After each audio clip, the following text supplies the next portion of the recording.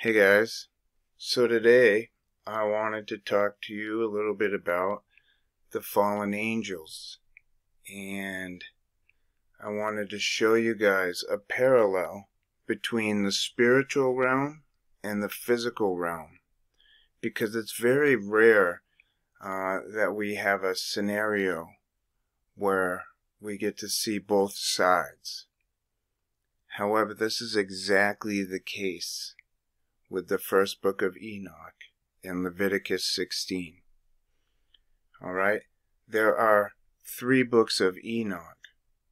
Only the first one, the Ethiopian edition, it would also be called, is Noah's great grandfather. Okay? The other ones are the bad Enoch. So, I would not suggest reading those. And the way you can tell is the first verse starts like this The words of the blessing of Enoch, wherewith he blessed the elect and righteous, who will be living in the day of tribulation, when all the wicked and godless are to be removed. Alright? That's the good Enoch. So as long as you have that one, you're good to go. Alright, so now let's go down to chapter 6 and we will dive right into this lesson. So I'm going to read to a certain point. We're going to cover a few things and then I'm going to go over to the King James and read out of Leviticus and show you guys a parallel, which when I saw it, uh, I was, my mind was blown. I was taken aback because it's very rare that you get to see um, a parallel between the spiritual and the physical. And you'll know what I mean exactly after I uh, bring you through this lesson. So, let's get started. And it came to pass, when the children of men had multiplied, that in those days were born unto them beautiful, comely daughters and the angels of the children of heaven saw and lusted after them, and said to one another, Come, let us choose wives from among the children of men, and beget us children. And Semjaza, who was the leader, said unto them, I fear ye will not indeed agree to do this deed, and I alone will have to pay the penalty of a great sin. And they all answered him, and said, Let us swear an oath and all bind ourselves by mutual imprecations, not to abandon this plan, but to do this thing.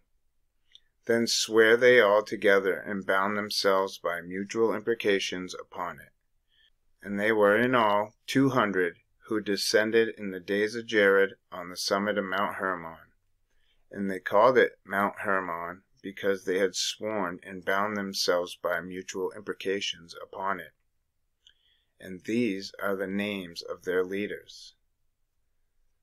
Semlazaz, their leader, Arakelba, Rameel, Kolkabla, Tamilal, Ramalal, Danal, Ezeqeel, Baraqijal, Asiel, Aramos, Bartarel, Ananel, Zaqiel, Samsapeel, Setarel, Terel, Jomjael, Sariel. These are their chiefs of tens. Sorry about the pronunciations if I missed any. Um, those are pretty tricky names. And all the others together with them took unto themselves wives, and each chose for himself one, and they began to go in unto them and defile themselves with them. They taught them charms and enchantments and the cutting of roots, and made them acquainted with plants. And they became pregnant, and they bare great giants, whose height was three thousand ells. I did a video on three thousand ells. That's almost a mile. I'm not even kidding. You can check it out. Who consumed all the acquisitions of men, And when men could no longer sustain them, the giants turned against them and devoured mankind. And they began to sin against birds and beasts and reptiles and fish, and to devour one another's flesh, and to drink the blood.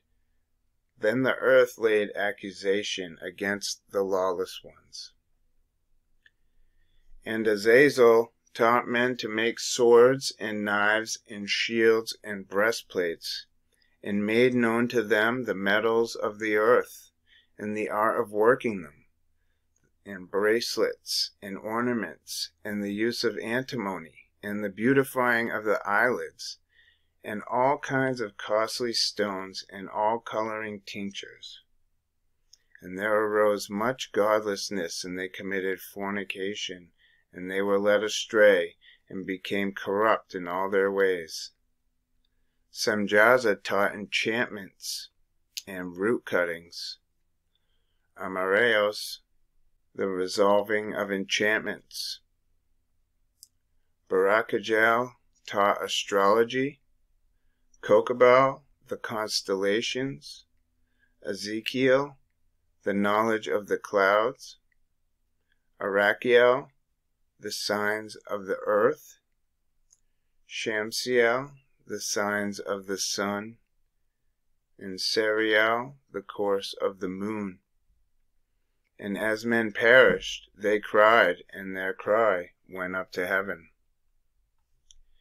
And then Michael, Uriel, Raphael, and Gabriel looked down from heaven and saw much blood being shed upon the earth, and all the lawlessness being wrought upon the earth. And they said one to another, The earth made without inhabitant cries the voice of their cryingst up to the gates of heaven. And now to you, the holy ones of heaven, the souls of men make their suit, saying, Bring our cause before the Most High.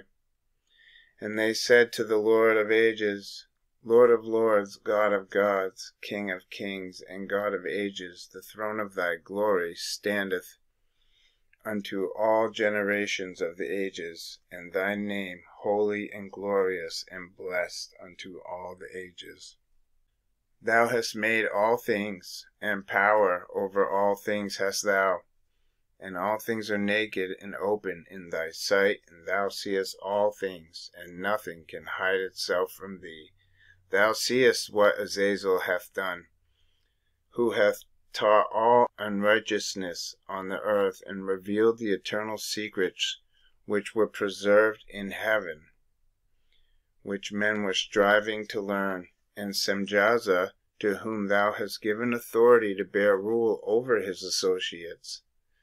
And they have gone to the daughters of men upon the earth, and have slept with the women and have defiled themselves and revealed to them all kinds of sins. And the women have borne giants, and the whole earth has thereby been filled with blood and unrighteousness. And now behold, the souls of those who have died are crying and making their suit to the gates of heaven, and their lamentations have ascended, and cannot cease because of the lawless deeds which are wrought on the earth. And thou knowest all things before they come to pass, and thou seest these things, and thou dost suffer them, and thou dost not say to us what we are to do to them in regard to these. Then said the Most High, the Holy and Great One spake, and sent Uriel to the son of Lamech, and said to him, Go to Noah, and tell him in my name, Hide thyself, and reveal to him the end that is approaching, that the whole earth will be destroyed, and a deluge is about to come upon the whole earth, and will destroy all that is on it. And now instruct him that he may escape, and his seed may be preserved for all generations of the world. And again the Lord said to Raphael, Bind Azazel hand and foot, and cast him into the darkness, and make an opening in the desert, which is in Dudael, and cast him therein, and place upon him rough and jagged rocks, and cover him with darkness, and let him abide there for ever, and cover his face so that he may not see the light. And on the day of the great judgment he shall be cast into the fire, and heal the earth which the angels have corrupted, and proclaim the healing of the earth, that they may heal the plague, and that all the children of men may not perish through all the secret things that the watchers have disclosed and taught their sons. And the whole earth has been corrupted through the works that were taught by Azazel. To him ascribe all sin.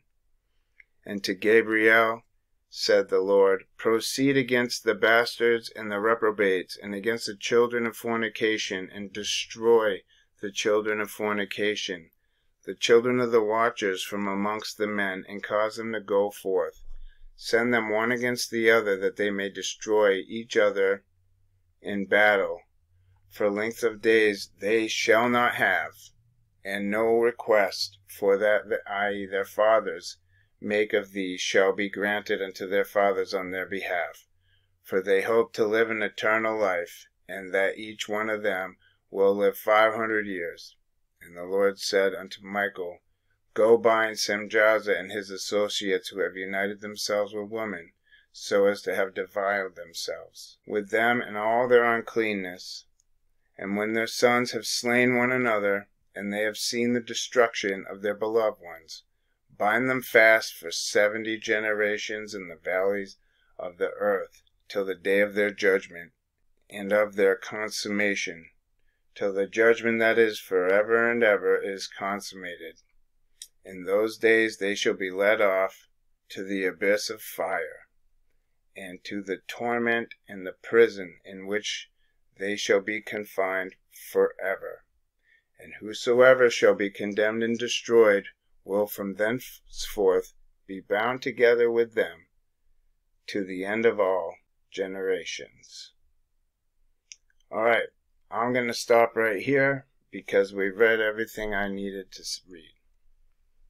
So I'm just going to come back here and we're going to focus on Azazel, okay?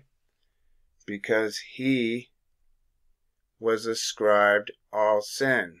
See? To him ascribed all sin. So Azazel is the scapegoat. This is where this term comes in. All right. So while this was going on in the spiritual realm, this is what was going on in the physical realm.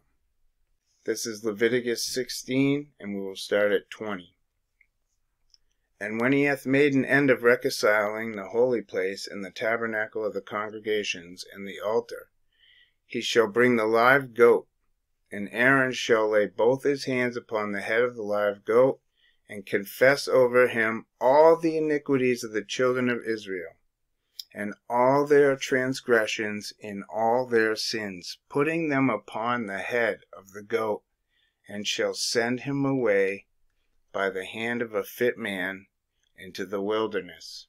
And the goat shall bear upon him all their iniquities unto the land not inhabited, and he shall let go of the goat in the wilderness and Aaron shall come into the tabernacle of the congregation, and shall put off the linen garments which he put on when he went into the holy place, and shall leave them there, and he shall wash his flesh with the water in the holy place, and put on his garments, and come forth, and offer his burnt offering and the burnt offering of the people, and make an atonement for himself and for the people and the fat of the sin offering shall he burn upon the altar. And he that let go the goat for the scapegoat shall wash his clothes, and bathe his flesh in water, and afterward come into the camp, and the bullock for sin offering, and the goat for the sin offering, whose blood was brought in to make atonement in the holy place shall one carry forth without the camp, and they shall burn in the fire their skins, and their flesh, and their dung. And he that burneth them shall wash his clothes, and bathe his flesh in water, and afterward he shall come into the camp. So you can see that in the spiritual realm, they were binding Azazel and throwing him in to the darkness. See right here. Bind Azazel hand and foot and cast him into the darkness and make an opening in the desert, which is in Dudael, and cast him therein and place upon him rough and jagged rocks, and cover him with darkness, and let him abide there for ever and ever. Cover his face so he must so he may not see the light. So you can see here that Azazel was ascribed all the sin. He was the scapegoat. And on the physical realm here on earth, they were confessing all the iniquities of the children of Israel, and all the transgressions and all their sins, and putting him on the head of the goat, and sending him away into the wilderness. So he is the scapegoat. So this is what was happening in the physical realm. So I just wanted to come on here and show you guys this because I think it's absolutely awesome and mind blowing. Because you can see what was going on in the spirit, and then you can see how it manifested here in the physical. And this is how this whole realm works. Things first happen in the spirit, and then they manifest in the physical. I hope that you guys learned something on this.